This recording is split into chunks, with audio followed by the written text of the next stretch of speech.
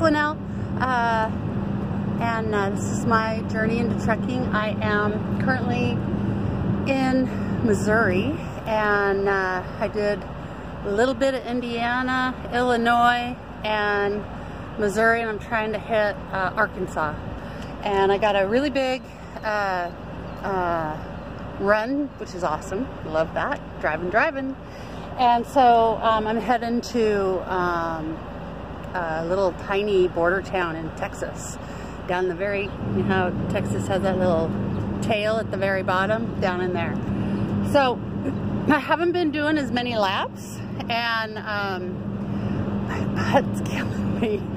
I get tired butt. So, um, but I wanted to um, say hi for one thing.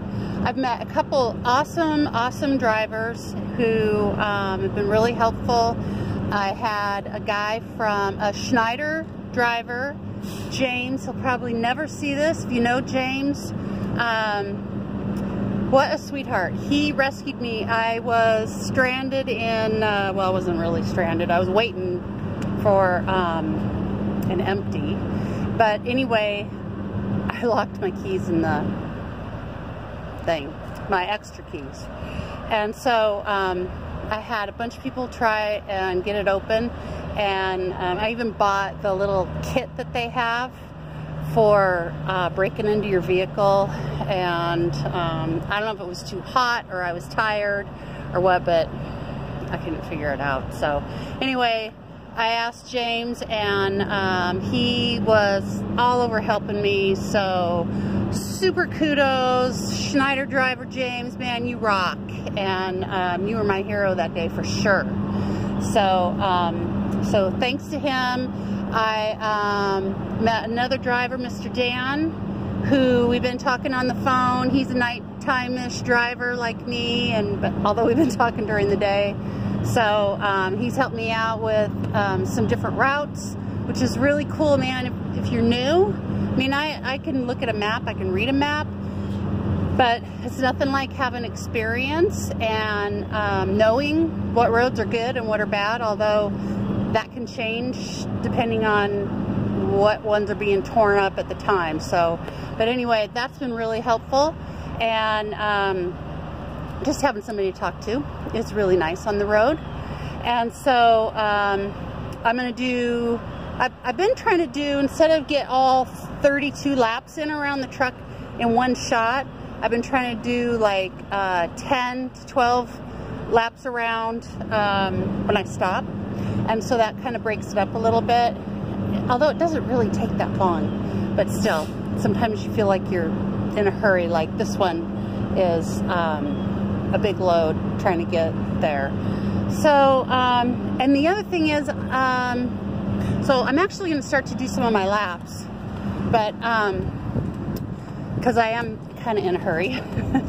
and uh, so the, the other thing is, I want to show you once I get um, in the truck, blinding sun, hello, uh, the, there's I haven't talked about when things go wrong. So like, uh, well, I talked about the tires when I blew my tires. Um, so there was that. But there's other things that can go wrong that you need to, um, uh, when you're doing your pre-trip, to look for. And whether it's on trailer or um, the tires. So like I was at, um, there was a bug following me. I was uh, picking up this trailer and I lucked out that um, the tray, the tires were, you know, it was really heavy or I don't know exactly what it was, but the position of the tire made it so I could see that there was, it was, I don't even know how to show you, there was a huge gouge um, in this tire big cut up into it.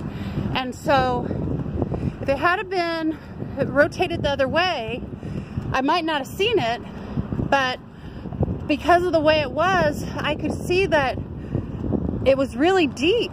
And I'm really, really surprised that it, um, it wasn't losing air. It was that deep. And so Um, I was fortunate enough that I wasn't that far away from a uh, uh, service center and I sent in my um, uh, macro to to get some service on it. So be sure, really check your tires. I even saw, oh, maybe I can show you. Uh, it was on, hang on, I'm trying to find the side. On this side, it was on the other side, but it's so blinding. Uh, that's not the same. How come that's not the same? Oh, okay, so I'm gonna turn this. So right here, that, I don't know if you can see that or not, I hope so. Um, that's like good, but the thing I had was all welded and it had a huge, you know, crack like that. And, um, I, so it makes me laugh. The reason I'm laughing is in uh, school. Is it the same on this side? Yeah, it is. Um, so it just looks different, like it's backwards. But um, at school, um, Morrow, one of the uh, the owner of my school's uh, brother, he was talking about like when we were doing our pre-trip, like constantly, no illegal welds. So you go through everything, you, you, you know, touch the, oh see, now I just noticed this. Can you see this? Uh, right here. See this gap? It's okay, but that's, you know, you gotta look for that kind of stuff. Anyway, so, um, he was always saying, no illegal welds, no illegal welds. So, I don't know if it was a illegal weld or just an old legal weld. But, um, so back to the tire. So I was able to get that tire in and get it replaced. But you know, I could have had another blown tire, so you really want to watch that stuff because if you don't, you're going to end up uh, on the side of the highway. And it's going to blow when you don't want it to blow. So you want to get it taken care of. So, and you don't want to leave it, you know, somebody, I don't know if they didn't do a good pre-trip or, um, or they uh, missed it or they didn't know or they just didn't want to deal with it. But, you know, you don't want to leave that for your fellow driver to have to deal with. I mean, even if, so one of the things you can do, you don't want to have to take the trailer in somewhere. The other thing you can do is you can, when you're done and you're dropping the trailer and you're heading out and you go to your next wherever, you pull over for gas somewhere, send a macro about that trailer that you just dropped. And then they'll send somebody, a crew out or whatever, to replace that tire. So that way, you're not delayed. The next person who gets that trailer isn't stuck with a problem and it gets fixed. So, you know what? Win-win all the way around. So help each other out. And um, so the other thing I'm going to show you when I get done uh, walking around the tractor, I feel better just getting the blood circulating. Anyway, that stupid bug keeps following me. Um, it's probably because I'm getting ripe. Anyway, uh, I've noticed something. Oh, before I tell you what I'm going to show you. So, I wish I had documented some of this, but my, so it, in our company, we've got um, idle management. So what it does is it doesn't idle all night long, like in the summer, to run the air conditioning all the time. And go like this more.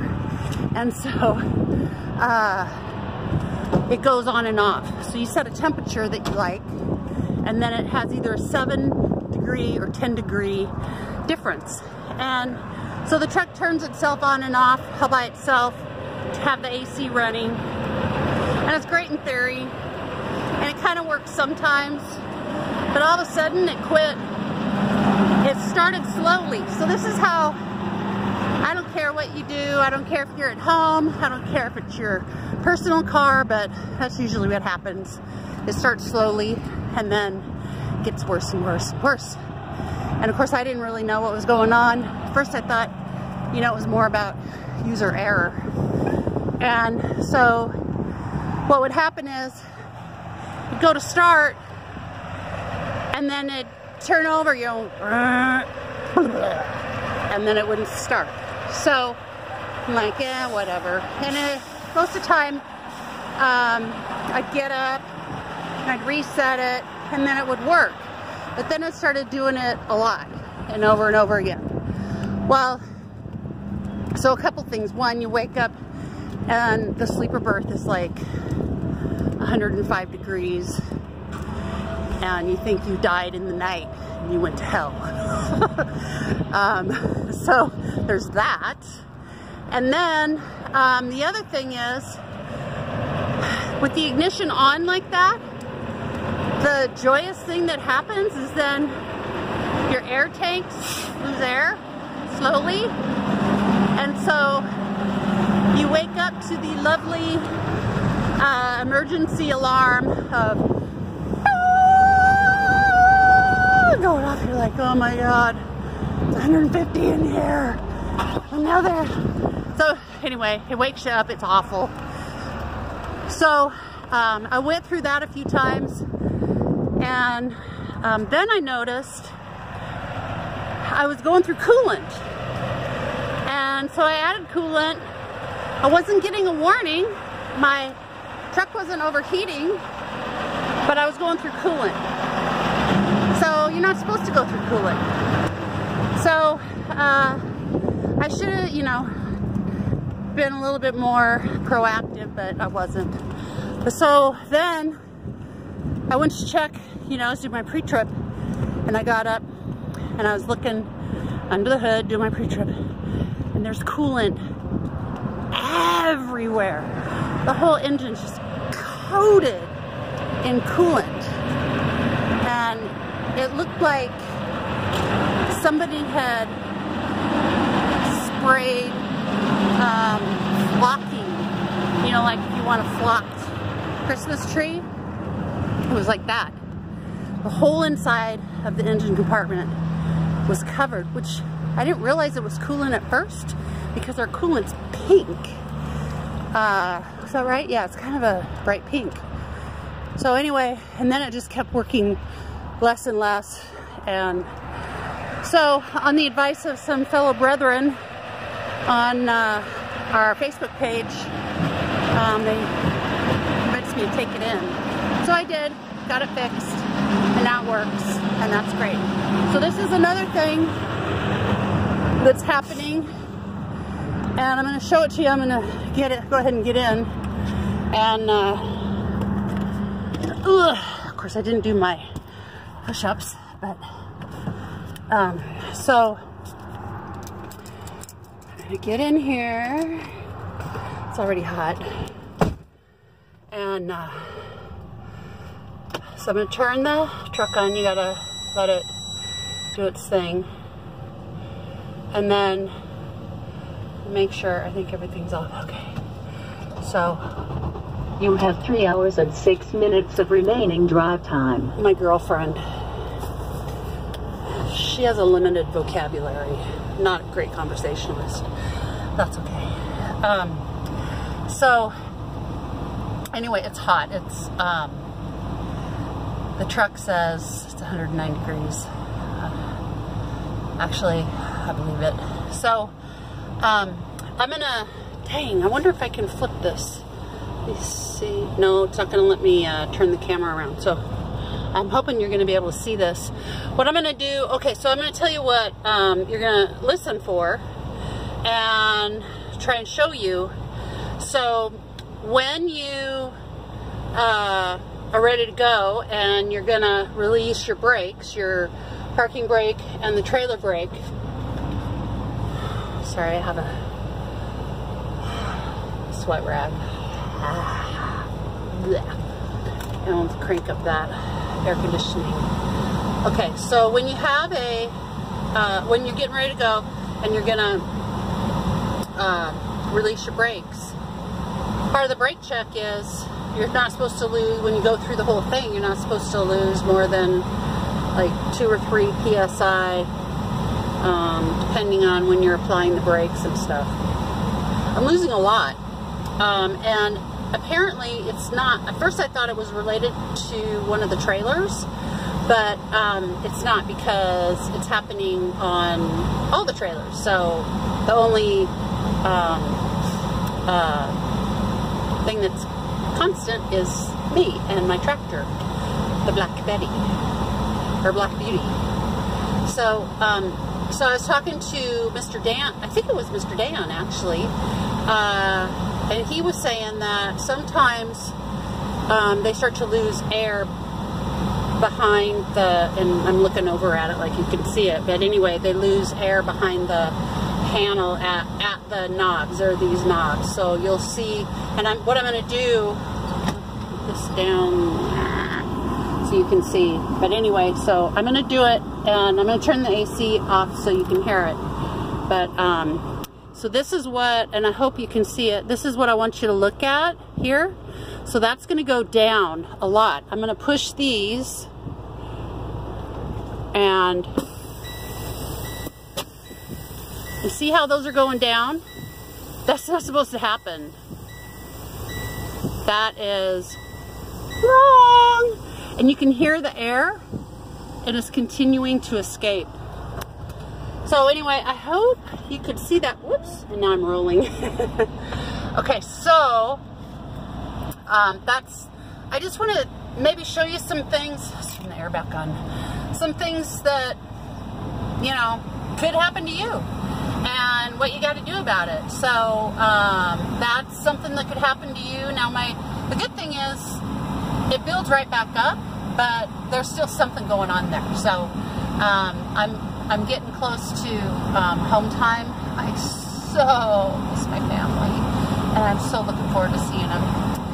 So um, and hopefully I'll be able to get the truck. Um, I, I'm right close to my 60 days uh, for the tune-up oil change thing or whatever. So um, anyway, I just thought I'd share that with you and um, how things are going. They're going good. I have a bunch of um, little videos of the clock and when I get home I'm going to put them together into one because they're a whole bunch of like little a minute, minute and a half like that. So make one that shows, um, you know, managing your time. And um, that's my story and I'm sticking to it.